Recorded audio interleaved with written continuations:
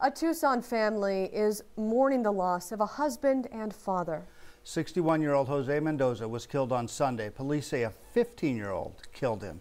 Court documents show Mendoza was riding his bike on Drexel Road near Country Club when he was hit by that 15 year old who was driving an ATV. Detectives say the 15 year old ran Mendoza over and then stabbed him. He tried to leave, but witnesses held him down. Mendoza was rushed to Banner UMC where he died from his injuries. The pain is still raw for Mendoza's family. His wife and daughter spoke to us to give us some insight into who their husband and father was.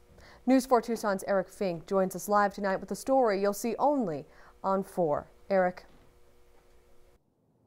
Amanda, good evening. Jose Mendoza's family tells us that he was just an extraordinary person, an extraordinary husband, an extraordinary father, an extraordinary grandfather who was always there for his family.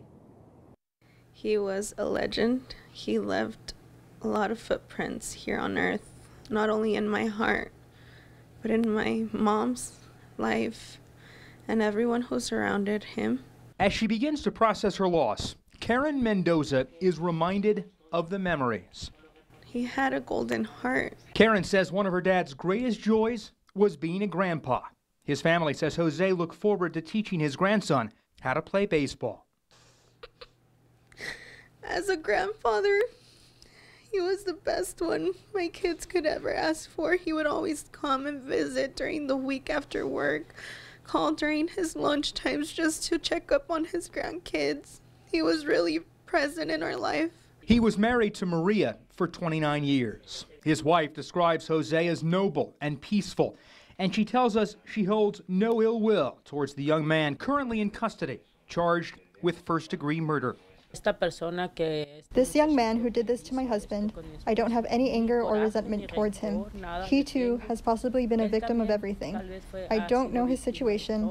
I will never hold anger or resentment towards him. In her grief, Maria has found incredible strength and grace. None of us are spared injustice in this life.